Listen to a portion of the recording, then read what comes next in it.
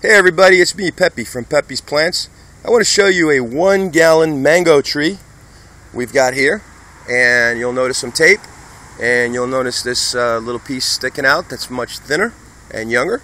And you'll notice from here, going all the way down to here, this is what's called a rootstock. This is a mango seedling right there. And you're looking at a grafted Carrie scion. That's a scion. This part here, the thinner part with the tape, is called the scion. That came from a mature, productive Carrie mango tree. And what we did is we grafted it on to the rootstock of, well, I don't even know what mango this was, but it doesn't matter. It was just a seed that we planted, and you can use that as your uh, mother plant for your graft. So, well, I shouldn't say mother plant. This is your rootstock. This is the plant that you're going to graft onto. And then what we've done is we've used a regular green uh, tie tape. You can see. Uh, you don't have to use that. You can use anything you can bind it with that's good and tight and it's going to make a good connection. So this would be your scion right here of your Carrie. You can see it's developing really nicely. Very nice, very healthy. And then this part over here is your rootstock of any mango seed that you want to grow. So grafting the tree um, is important because now if I want to have a Carrie, which this is a Carrie that was grafted on uh, July 7th of 2012 from one of our Carrie trees, we grafted on with a side veneer graft. Grafting is basically the art of taking uh, rel- related plants uh, and getting them to produce fruit of the same exact variety with exact same characteristics and we do that by fusing them together. So this again is, a, I, I think I mentioned earlier, this is a side veneer graft, and this is the scion part, and we've got the translucent looking tape is called uh, parafilm, which is good to use uh, to wrap it up all around there to make sure that nothing dries out.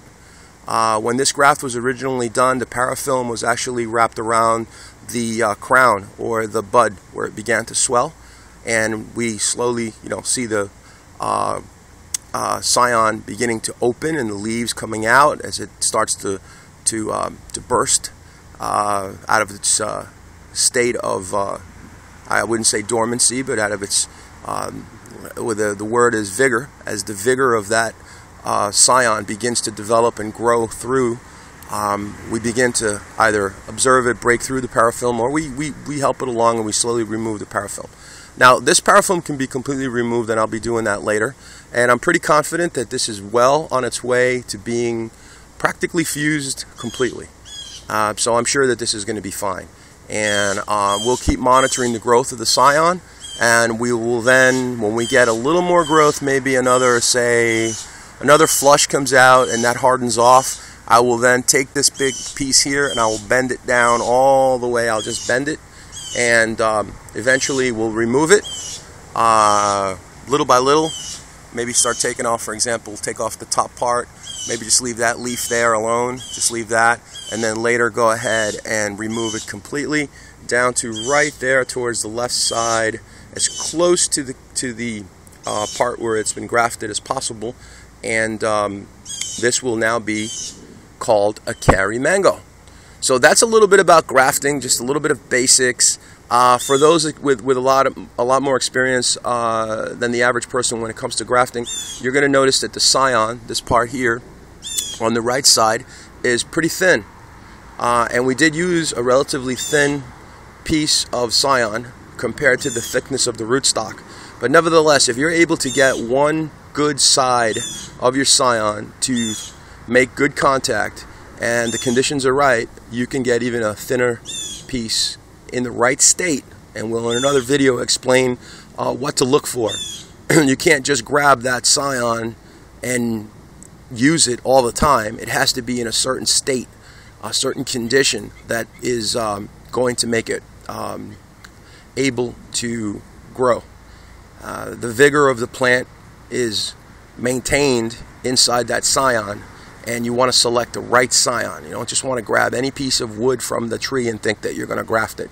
Um, you have to know a little bit more. Anyway, in the future, we'll give you more information on grafting uh, and we'll actually demonstrate how it's done. But this is just to give you a little introduction. All right, well, we hope you enjoyed the video. This is Pepe from Pepe's Plants. You can visit us at pepesplants.com on the internet. If you like miracle fruit, you can also visit us at miraclefruit.info. Hope you like our channel, and um, I'm holding this with one hand, and it's a little shaky, so maybe the video won't come out too bad. And there's a blue jay saying hello to you. I don't know if you can hear him, but he's up here in the tree in the upper right-hand corner.